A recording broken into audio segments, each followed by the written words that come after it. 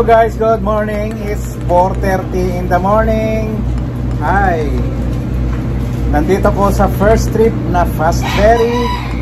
Aalis ito ng 5 o'clock from Surigao City to Siargao Island. Mga kasama ko na inaantok din, natutulog muna. Hello, hello, mga kalakwatsero to Siargao. Say hello, hello, hello, hello. Hi. Ang pangalan nyo?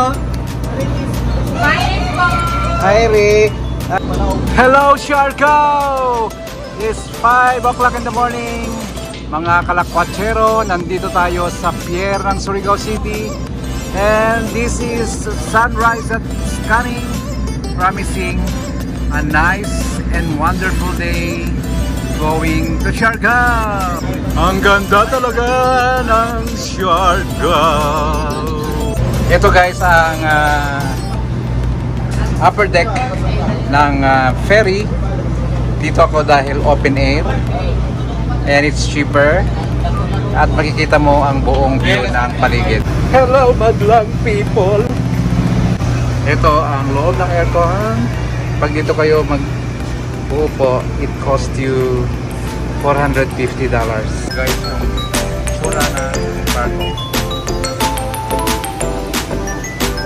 Best and ang kwarto ng aming kapitan.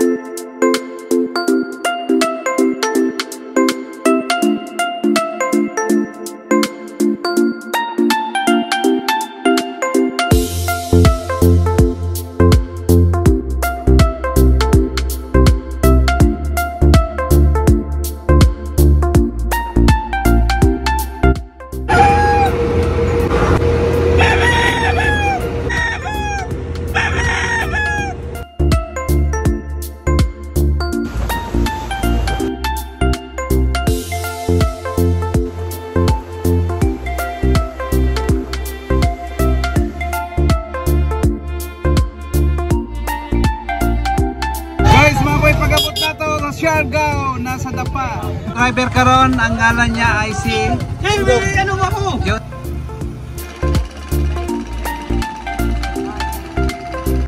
Hello! Maayong bontag, Siargao! Ngayon lang ako dito nakabalik guys. Dito sa Siargao after 2 years and dahil sa nangyaring bagyo, kita natin ang Siargao hindi pa rin nakaka-recover. And it's my first day today and tomorrow we will go to uh, the land um, tour and then next day the island hopping. So guys, abangan ang aking mga vlog sa Siargao Adventure. So guys, ito ang uh, idinulot na damage ng bagyo dito months ago. Tingnan nyo ang mga coconut trees. Grabe ang damage. At papakita ko sa inyo ang ibang damages sa mga houses. So guys, ako ay naglalakad papunta sa sa town, malapit lang sa dagat at doon ako magdi-dinner mamaya. So, maglakad-lakad muna tayo dito sa sa maraming nyog na daanan. Some of the resort or hotels na damage ng bagyo. Guys, grabe ang pinsala. Ang daming ano to, saging dito sa Siargao. Iding pinya. Ayan. Yes. The best, gusto ko to, papaya. Ito ang palengke ng Islang Siargao. Daming pinya, oh. matamis kaya to. Isa sa Siargao Island, mahi-mahi, shore, ay, swordfish, swordfish. Nakatingin sila sa akin, mga mata ng mga islang ito. Nakatingin sila sa akin. Hello guys, Ano pangalan ng isda na to? Ganis. Ah, paano masarap na luto nito? Ba. Sugba means inihaw guys. Sausawan nyo ng toyo at suka na may sili. Tapos cook na malamig. Oh, patay tayo niyan.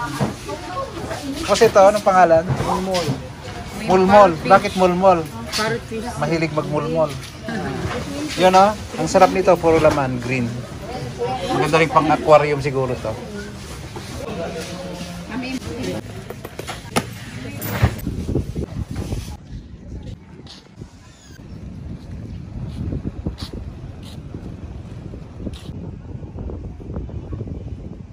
Ah, ito na, ito na.